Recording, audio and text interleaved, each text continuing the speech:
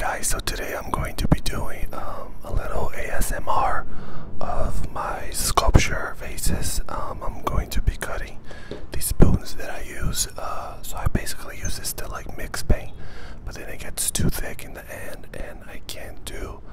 Um, I can't really use it or mix paint because it gets too thick. So I'm going to cut this in half.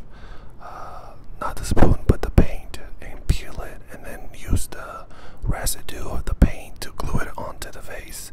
So let's try this. I'm gonna put the microphone right here.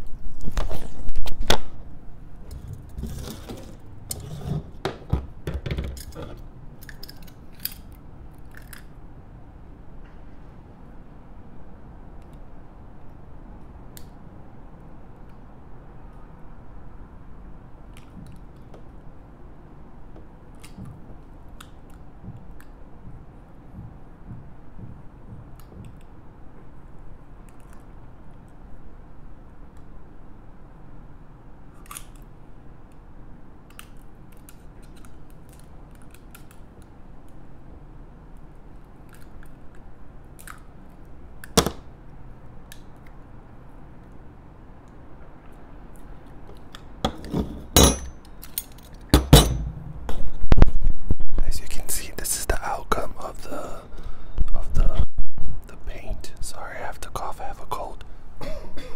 so basically, this is um, after I cut the spoon, you get a little mold of the spoon, and then I just gonna apply some glue to it, and then um, glue it to the vase like this. I'm just gonna press it really hard so it sticks momentarily to the vase, so you get an idea what it looks like. So then, when you see it, you can tell it's the shape of a spoon. Sorry. So then, what I like about this is that um, each of the spoon that I use colors because based on the paint that I use. So out of one spoon like this, I cut it, uh, cut the paint and peel it, and then you get two little molds of it like this. I don't know if you can see it. Um, so basically, that's it, guys. Thank you for watching.